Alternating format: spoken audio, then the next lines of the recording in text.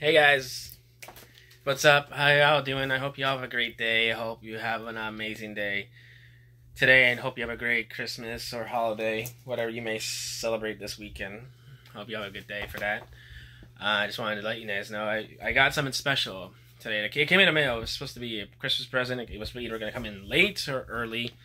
I got it early. Uh, to Josh, thank you, buddy. I appreciate this. You know who, and to anybody that's a Josh that watches this, you know who it is. I know who it is. Um, but um, I wanted to show you guys this. Apologies for the reflection. I didn't want to take it out of plastic, but he got me uh, right before he passed. And Jason always, Jason David Frank, he would always autograph some photos, and he would always put them on. He would always saved them so he could sell them. I'm pretty sure like maybe other art, uh, celebrities and all of that. But um, he bought me this. Is there a way to get the reflection out? No. And you know what? It's probably for the best.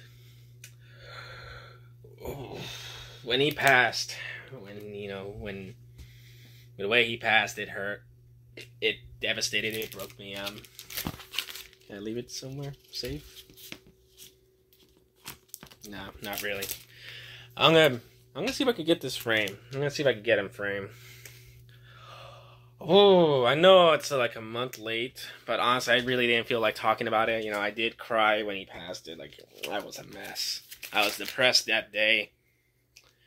You know, some of my friends know how much he meant to me. I know how much they meant to him. I really wish, you know, money, travel be damned. I wish I could have gone to a convention that he was there just to see him, just to meet him, just to get an autograph like this from him and personally rather than being rather than a gift from a friend. Not that I don't appreciate you, Josh. You know, he was our Green Ranger. He was our White Ranger, Red Zeo Ranger, Red Turbo, and Black Dino Thunder. He was our hero. He was a man who made sure we lived a happy life and a good life I don't think you know if it wasn't for Power Rangers, I would never met him. If it wasn't for him, Power Rangers would never been the same. Honest truth, let's be honest. Power Rangers would probably not have lasted year five without him, or year four, whatever. Whenever he left, whenever Tur- Turbo came out, I'm going to miss him. I remember when he revealed himself as the White Ranger. Of course, we all know how he debuted as the Green Ranger.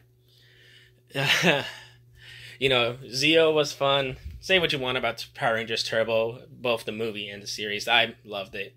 I thought he, I thought he was great as the Turbo Ranger. I thought the suits were great. The, the Megazord was great, and of course, everybody was excited when he was going to be back for Dino Thunder. I remember being glued to the seat, waiting for him to debut. Everybody was waiting for him to get a Power Ranger. Everybody thought he was going to either be the Green or White Ranger. Nobody expected him to be the Black Ranger. And I'm sorry that I keep moving the camera around. That it's a bad angle. It's just. And I'm sorry, I'm shaking. It's just I'm going to miss him. I still miss him. And I know everybody else does too. God bless you all. Please, if you ever feel scared, hurt, or you feel like something's wrong with you, please talk to someone. Get help. Don't let your suffering take you away. So, love you all. Love you, Jason David Frank. Miss you. Love you. You're not going to be forgotten anytime soon. Later's all.